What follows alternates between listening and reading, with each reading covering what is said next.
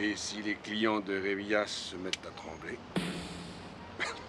T'es un vrai poète, Rico. Je sais, ma mère me l'a déjà dit. Vous voulez bloquer le ravitaillement de Révillas? Vous- Mais il aurait fallu vous inventer, vous. Mais- non, écoutez, donnez-moi un pistolet, je me fais tout de suite sauter la tête, ça va aller plus vite, hein, d'accord? Ça évitera au Révillas de se déranger. C'est le contrat du siècle. 50% de nos bénéfices.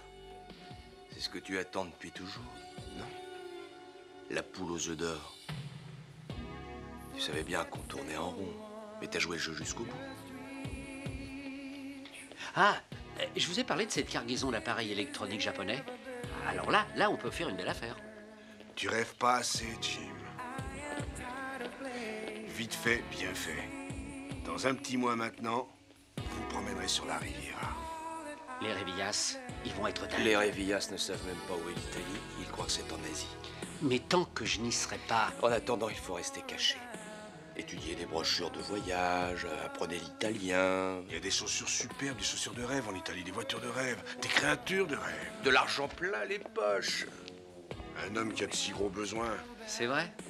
Évidemment. Bon, d'accord.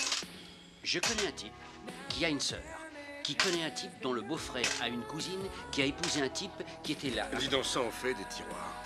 Bah, vous savez, les latins, ils ont tous des grandes familles. Euh, la mienne, euh, euh, c'est où déjà?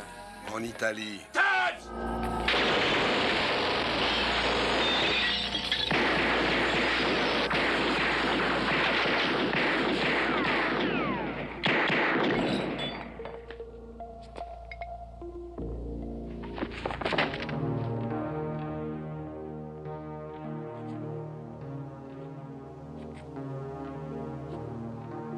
Les payent 1500 dollars le coup.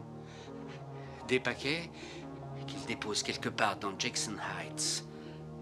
Ils ne posent pas de questions, ils ne connaissent pas de nom.